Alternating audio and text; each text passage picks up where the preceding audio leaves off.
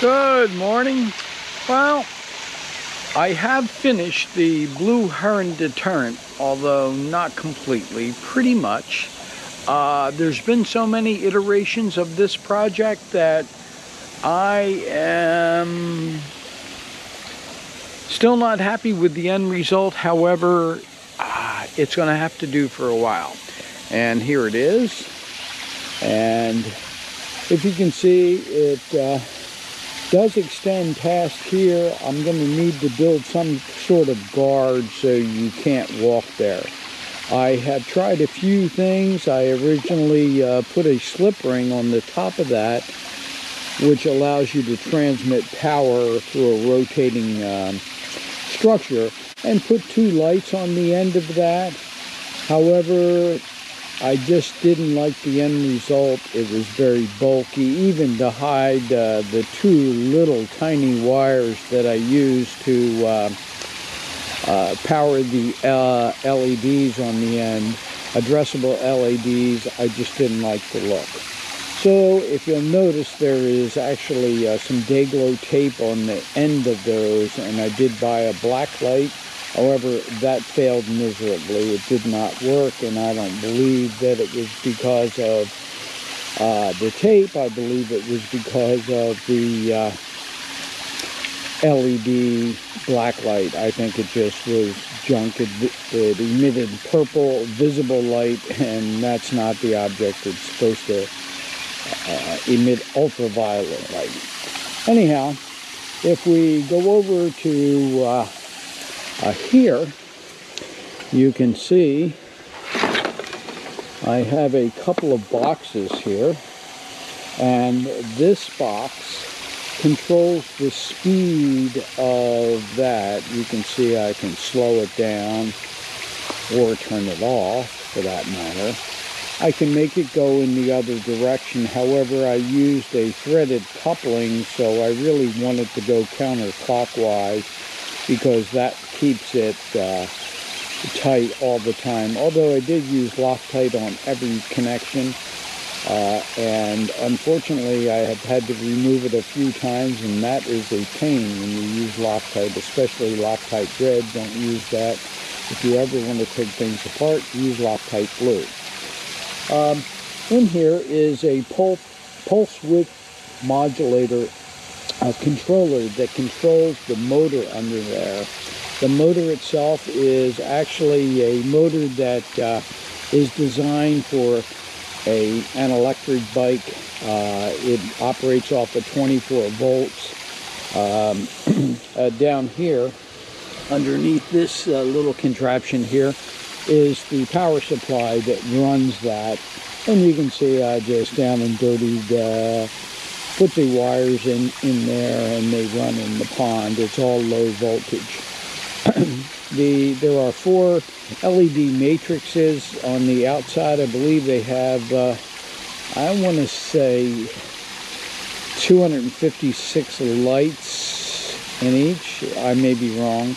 Uh, but there's four surrounding that and there are two strips of uh, that are uh, one meter long that have 144 lights each or 288 individually addressable LEDs.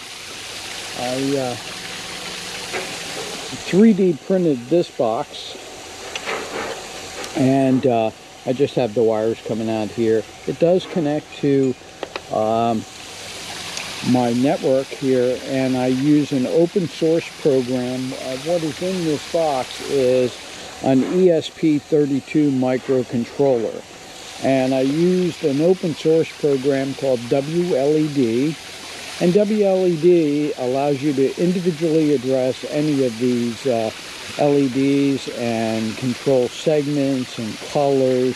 And there's literally hundreds of effects that you can use and based on that you can change the intensity, the speed, the brightness, um, I segregated this into two different uh, segments. Uh, the first segment are the 288 lights underneath of this uh, object that I'm going to call helmet. It is actually a uh, uh, bushel basket from Harbor Freight, galvanized. I painted it black.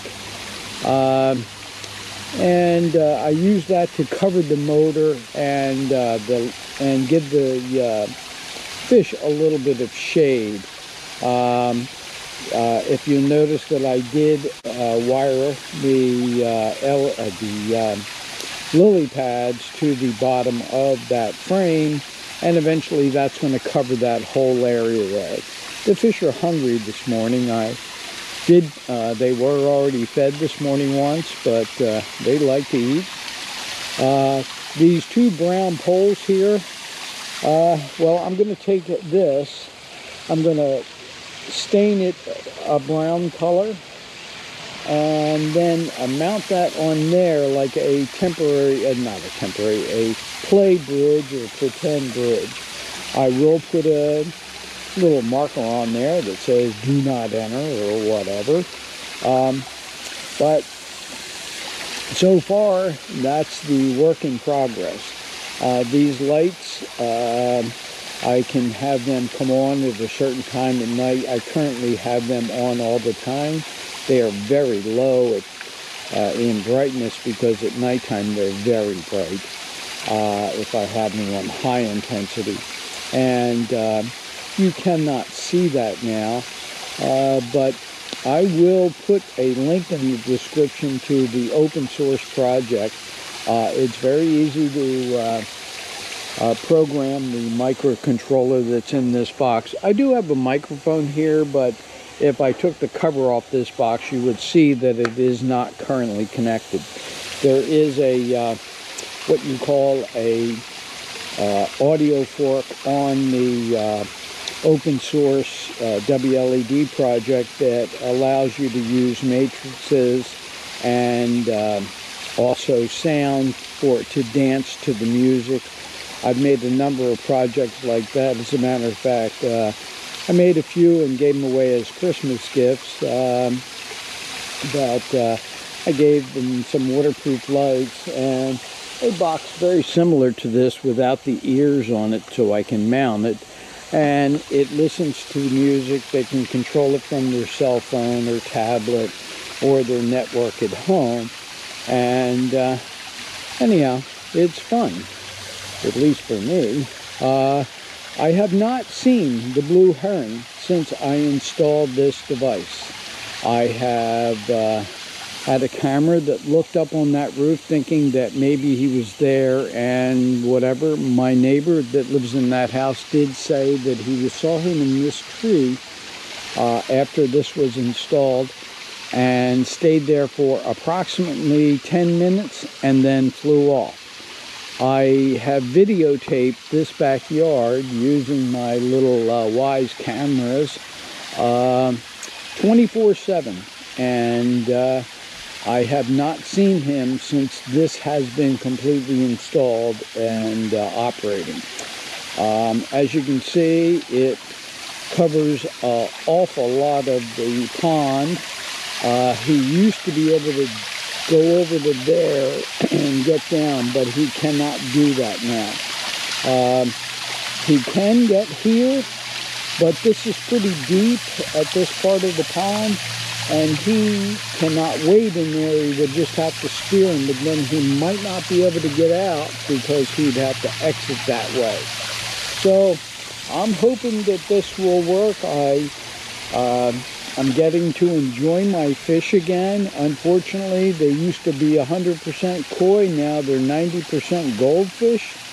And that's because all of my good koi were killed by the blue heron and over the years, I would add goldfish or, you know, and the few nice koi that I have, he must like the koi. They must be tender. I don't know. I'm not quite sure. Anyhow, uh, this mechanism here is an old uh, three uh, umbrella. I don't know what you call those. They, they basically have three parts. It's a long oval uh, umbrella. And I have a new one. So I decided to use that as the basis uh, for mounting this motor. Originally, I was going to take those two pipes and weld an arm off of there and weld an arm off the other side and have two uh, things that rotated and then realized that I was overcomplicating this. I also had a geared mechanism where it drove another gear. I calculated the ratio to make sure I could get the right speed I wanted because I was looking for a little bit slower but a lot more torque and I could do that with gears. But then uh, after I welded the contraption all together and tested it running, it ran for one half hour before it actually broke a weld, which I was shocked at. So therefore, uh, I gave up the Ghost and decided to drive it directly. And this is inspired by, I think, Spaceballs. That kind of looks like Helmet uh, right there. Um, the uh, Eventually, I would like to take uh, this controller here and use, since it basically uses pulse, pulse width modulation to control the speed of that motor. The little ESP32 controller that is in this box can actually accomplish that same thing. And it wouldn't be very difficult to write a program to control that and change the speed and then use only one controller for everything or one ESP32 and at the same time I could write it to um, be able to do it via the network or the web. Well network not web. I do not have any of these devices uh, connected. Um, they are connected to a segregated network but they do not have internet access. Um, but uh, if I used the microcontroller in here to control that, uh, the little microcontroller that was in that box, or that is in that box, actually can host a web page. And based on that, I could design a little web page that had different speeds, 10%, 20%, 30%, 40%. This motor is capable of 300 RPM. So I could put a percentage and just have a little web page that you could adjust from there. However, in reality, it's so much simpler to just turn that knob and change the speed that I'd be foolish to do that, but I love to learn things and I like to do things the most difficult way possible sometimes if it involves learning something. So, I don't know, we may make an iteration of this that is controlled via the network and uh, the web page on an ESP32 controller, but currently it is going to operate in this fashion. Anyhow, uh, I will include some pictures of the internals of these boxes and um, see if anybody might be interested in the uh, WLED open source uh, addressable LED program. Or uh, you know maybe building one of these contraptions for uh, your uh, pond. I don't know. Uh, i have tried so many different things. I have watched things about uh, at one point i was going to put an electrified fence around here just uh, some wires using a a high voltage fence from, uh, you know, uh, like uh, tractor supply that you would use around a cattle farm or whatever to electrify the fence. And uh, I watched online and it apparently does not affect blue herons very much because their uh, feathers insulate them from the wires and their legs have such scaly, um, I don't know, skin that it does not transmit the power. He actually stood on the positive and negative lines with high voltage going through and did not care and just killed this guy's fish anyhow. So that was out. I don't want to hurt him, but the last, uh, I had a previous iteration of this last year, used a much smaller motor. It was going a little bit slower than this. But once he found that he stood on that little box there, the, the filter box, and it hit him in the leg. Well, it startled him, but then he realized, huh, that didn't hurt. So he actually walked into it and stalled the motor and broke the gears and then had a field day or a smorgasbord in my pond. And from that point on, I built a conduit structure that was approximately three feet high. I drove posts in the ground or conduit in the ground. I bent the conduit to conform to the shape of the pond, and then I netted the whole thing. And I thought it was the most ugly thing in the world, and I could not stand it. Not that this is beautiful by any means. However, if I can see the fish like this and I can feed them and interact with them without having to worry will they be there tomorrow morning or tomorrow evening, uh, I'll keep this ugly thing here. Although the netting was really a problem because even when I weed whacked around this edge here, uh, well, guess what? Uh, it would invariably hit the net somehow, get all wrapped up, and anybody that weed whacks knows that when you weed whack and get your string tied all in the knots with uh, uh, the netting and the netting all wrapped around the head, it is not fun. So um, I did weed whack the other day and I got to uh, enjoy not having to um, enjoy not having to worry about snagging the net. Uh, anyhow, uh, I think I have some pictures of it at nighttime and I will try to include them. I know it's not pretty. And yes, I realize there that that matrix is coming loose from the other matrix. They're just glued to the top of there. But because they have a tapered uh, top, it can't be uh, smooth all the way around. Uh, they are waterproof IB, IP67, I believe. And uh, all the major electronics are located in these boxes here and uh, and here. The electronics, of course, for the lights are in this box, and the light electronics for the motor are in here. This also has a switch. If I turn that switch off, you can see it slows down and stops. And the this is counterclockwise and the two lines are clockwise. And I always run it on counterclockwise. I try not to um,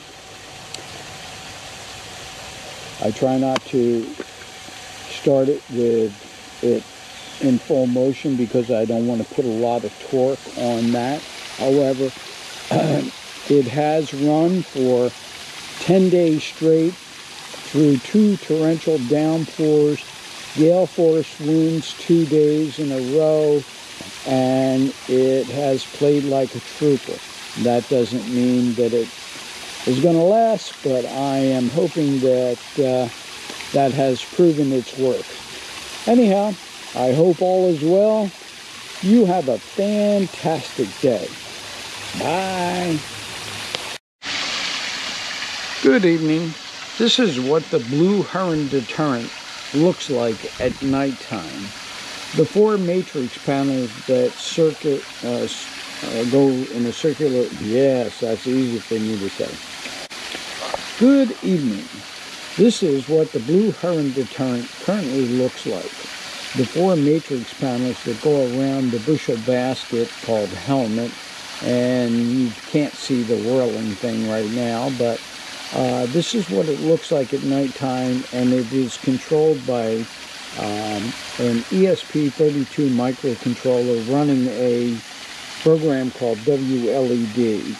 And WLED basically looks like this. It is a well-written program that you can basically do anything you want. It currently is running a preset, but I can change the preset and I can go to a solid color and then I can go back to colors and choose any color I want in here.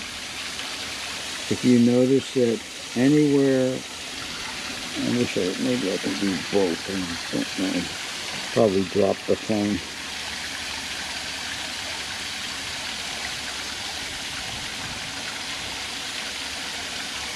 But you, you notice that the lights that are reflected are the lights that are underneath of there.